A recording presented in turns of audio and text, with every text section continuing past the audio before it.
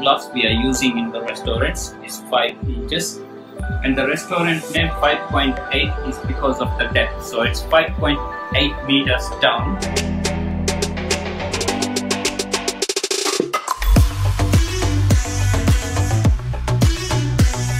Pro divers from the resort. They come here to clean the underwater restaurant twice a day to keep a good view for our guests on every day when they are having their meal